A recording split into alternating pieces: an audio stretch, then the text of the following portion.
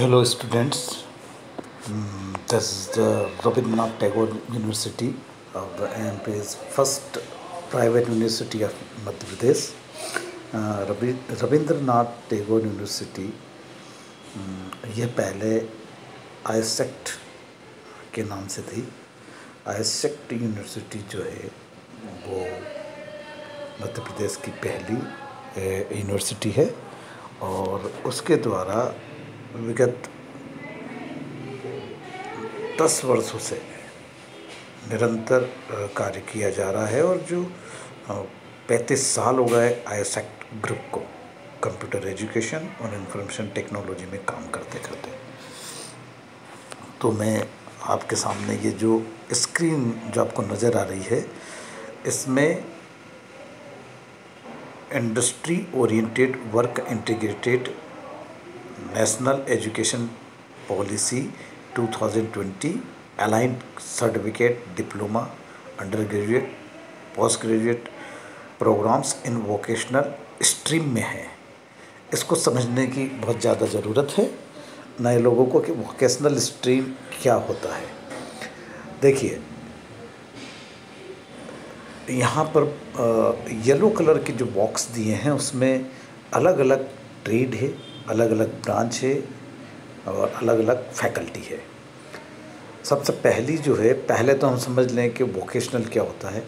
देखिए, जनरली आप जब लोग आफ्टर ट्वेल्थ क्लास जब आप ट्वेल्थ पास कर लेते हैं तो आप सीधे सीधे एक जनरल जो है बैचलर कोर्स करते हैं। वो बैचलर कोर्स होता है, आपका एकेडमिक होता है, bachelor of arts BA, bachelor of commerce BCom bachelor of science BSc. और इसके अलावा BBA bachelor of business administration और एलएलबी बैचलर ऑफ़ लॉ इस तरीके से ये सारे कोर्सेस होते हैं। है ना? ये एकदम कन्वेंशनल कोर्सेस है। अब बात ये आ गई है कि जब अ, आज डिमांड है वो डिमांड ये है कि आप पहले अगर ट्वेल्थ तक पढ़े हैं तो क्यों नहीं ऐसा हो जाए कि आप अगर पढ़ते पढ़ते कोई काम कर रहे हैं आपको काम की ज़रूरत है और आप अ, काम करते जा रहे हैं और अपनी पढ़ाई को भी आप रेगुलर रखना चाहते हैं। तो इस तरीके के कोर्सेज भी अवेलेबल है और टैगोर यूनिवर्सिटी जो है इस तरीके के कोर्सेज करवा रही है। अब इसमें देखिए कि इसमें अलग अलग फ़ील्ड कौन सी है। है ना? वो ये है कि IT information technology computer application computer science देखिए बी वॉक का मतलब है बैचलर ऑफ़ वोकेशनल मतलब आप व्यावसायिक में स्नातक होंगे। एम वोक का मतलब है मास्टर ऑफ़ वोकेशनल मीन्स आपके पास मास्टर डिग्री हो जाएगी। वोकेशनल कोर्स में मतलब आप स्नातकोत्तर होंगे व्यावसायिक में और उसी के आधार पर आपको पीएचडी मिलेगी।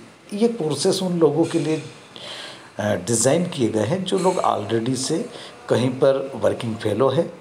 इंडस्ट्री में काम कर रहे हैं और वो खुद को अपग्रेड करना चाहते हैं, खुद के एजुकेशन को, खुद के हुनर को, ताकि वो आगे बढ़ सके। तो यहाँ पर देखिए आईटी में बी वोकेशनल कोर्स है एम वोकेशनल है मीन्स आपका B vocational equivalent to the bachelor degree M vocational equivalent to the master degree and PhD same thing अब व्हाट इज़ सर्टिफिकेट अब देखिए, इसमें एक बहुत अच्छी बात कही गई है। इसमें मैं क्यों इतना डिस्कस कर रहा हूँ? मैं इसलिए कर रहा हूँ क्योंकि देखिए, अभी तक जो आपका कन्वेंशनल जो आपका जो कन्वेंशनल ग्रेजुएशन यूजी और पीजी जो चल रहा है, वो कैसे चलता है? आपने किसी भी कॉलेज में, चाहे वो प्राइवेट हो यूनिवर्सिटी का हो या गवर्नमेंट यूनिवर्सिटी का हो प्राइवेट हो कॉलेज हो, वहाँ आपने एडमिशन ले लिया। आपने फ़र्स्ट ईयर किया फ़र्स्ट ईयर के बाद आप उसको कंटिन्यू नहीं कर पाए। ठीक है? तो आपके उस फ़र्स्ट ईयर का कोई वैल्यू नहीं है वहाँ पर। आपने सेकंड ईयर किया सेकंड ईयर के बाद आपको छोड़ना पड़ा। वो कोई भी कारण रहा हो तो भी आपने जो टाइम दिया है सेकंड ईयर तक का, उसका कोई वैल्यू नहीं है। ठीक है थर्ड ईयर करने के बाद भी आप अगर एग्ज़ाम नहीं दे पाते हैं तो भी उसका कोई वैल्यू नहीं है। पर नेशनल एजुकेशन पॉलिसी 2020 जो है, वो जो आया है, उसके अकॉर्डिंग अब रविन्द्रनाथ टैगोर ने ये वोकेशनल कोर्सेज डिज़ाइन किए हैं अभी के लिए और उन्होंने कहा कि आप, कोई दिक्कत नहीं है। आप एक वर्किंग फेलो हैं, आप काम कर रहे हैं, आप और अपनों अपने एजुकेशन को अपडेट भी करना चाहते हैं तो सीधा सा है कि आप, हमारा bachelor of vocational master of vocational according to your qualification या पीएचडी आप कुछ भी ले लीजिए तो सीधी सी बात है कि जैसे आपने फ़र्स्ट ईयर किया, है ना सिक्स मंथ किया तो आपको एक सर्टिफिकेट मिल जाएगा। सिक्स मंथ के बाद आपको छोड़ना पड़ा तो आपको एक सर्टिफिकेट मिल जाएगा। वन ईयर किया तो एक डिप्लोमा सर्टिफिकेट मिल जाएगा, जैसे P G D C A D C A इस तरीके का। आपने टू ईयर किया तो एडवांस डिप्लोमा मिल जाएगा और थ्री ईयर किया तो आपको पूरी डिग्री मिलेगी। मीन्स आप कहीं पर भी अगर छोड़ते हैं तो भी आपके हाथ में आपका हुनर, आपका skill certificate certificate of skill होगा। तो ये जो है, ये जिस तरीके से आईटी में है, उसी तरीके से ऑटोमोबाइल में है। है ना? ऑटोमोबाइल में भी सेम ऐसा कैसा है? आप ऑटोमोबाइल इंजीनियरिंग में आप करिए टेलीकॉम में करिए फ़ूड प्रोसेसिंग में करिए। और banking financial services and insurance agriculture life sciences में है और प्रोडक्शन मैन्युफैक्चरिंग बायोलॉजिस्ट ये बायो इन्फॉर्मेटिक्स का डिप्लोमा मिलेगा कंस्ट्रक्शन में है है ना? और टूरिज़्म एंड हॉस्पिटलिटी में है और रिटेल में है टेक्सटाइल एंड हैंडलूम में है हेल्थ केयर में है।